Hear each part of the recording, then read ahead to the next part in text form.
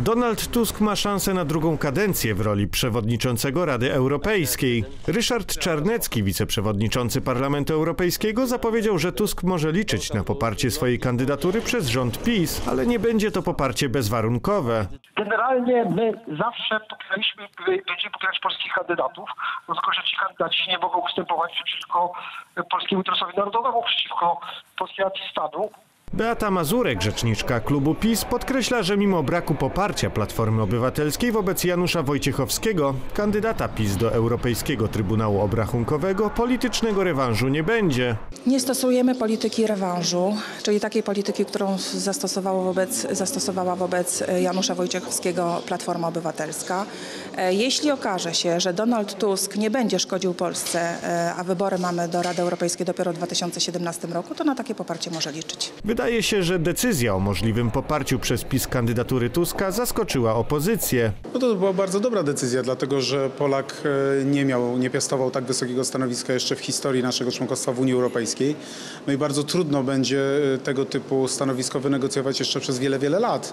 Więc to by była e, rzeczywiście dojrzała de- decyzja ze strony Prawa i Sprawiedliwości. Prawo i Sprawiedliwość od lat uważa, że powinniśmy popierać Polaków na ważne stanowiska unijne. No i myślę, że e, tak jak nawoływało do tego, żeby poprzeć Janusza Wojciechowskiego na stanowisko w Europejskim Trybunale Obrachunkowym, tak e, nie zmieni swojej, swojego zdania w, przy poparciu Donalda Tuska. Marek Jakubiak z ruchu Kukiz 15 uważa, że to może być cenna lekcja dla Donalda Tuska, który powinien wiedzieć, że Unia Europejska nie polega tylko na dyktacie z Brukseli lekceważącym interesy państw narodowych. Ja się cieszę e, z takiego razu, dlatego że nasza rola jest przekonywać każdego, w tym i pana Tuska, do racji.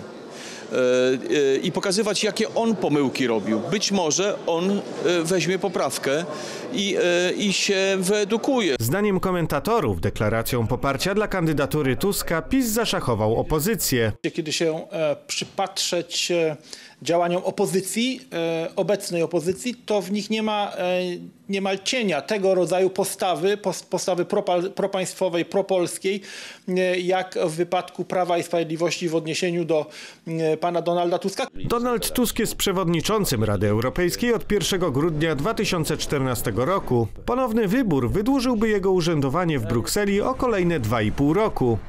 Mariusz Świerżewski, Telewizja Republika.